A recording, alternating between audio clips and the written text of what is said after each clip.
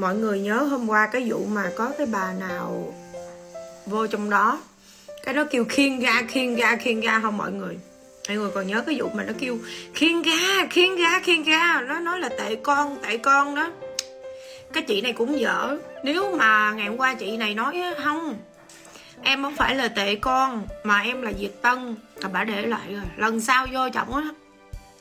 Là mấy anh chị phải nói không? Đừng có nói mình là diệt cộng nha. Mình phải nói là diệt tân. Diệt tân thì nó mới để ở lại. Còn nói diệt cộng là nó ghinh ra đó. Tại vì nó thù diệt cộng, nó không thích diệt cộng nha.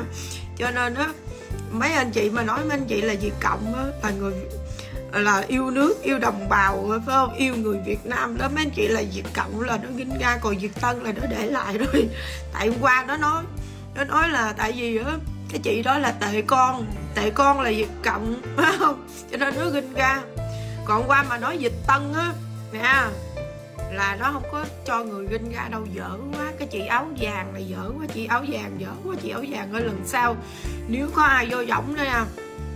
Đừng có nói mình là Việt Cộng, đừng có nói là Việt Cộng. Việt Cộng là bên tệ con, còn tệ con là Việt Cộng mà còn nói là là là Việt Cộng là nó ginh ra. Phải nói là Việt um, Việt Tân. Việt Tân này nó mới để lại nha không con hàng này nó phái Việt Tân.